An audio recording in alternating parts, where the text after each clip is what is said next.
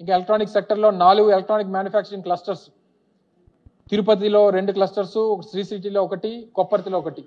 నాలుగు ఈఎంసీలు ఇప్పటికే అందుబాటులో రాష్ట్రంలో ఉన్నాయి.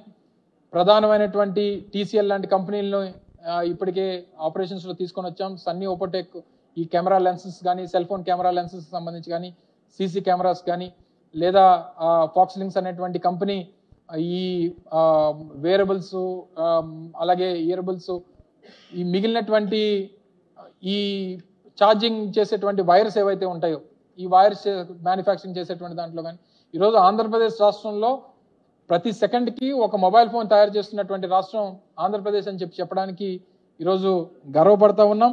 ఈరోజు ఇటువంటితో పాటు ఇన్ఫోసిస్ లాంటి పెద్ద సంస్థలు ఈరోజు విశాఖపట్నం ర్యాన్స్టాడ్ లాంటి పెద్ద కన్సల్టెంట్ కంపెనీలు విశాఖపట్నం లాంటి నగరాల్లో ఇప్పటికే వారి తాలూకా ఎగ్జిస్టెన్స్ని క్రియేట్ చేసింది డబ్ల్యూఎన్ఎస్ అనేటువంటి ఒక సంస్థ. మూడు వేల మంది ఎంప్లాయీస్తో వారి ఆపరేషన్స్ మొదలుపెట్టారు.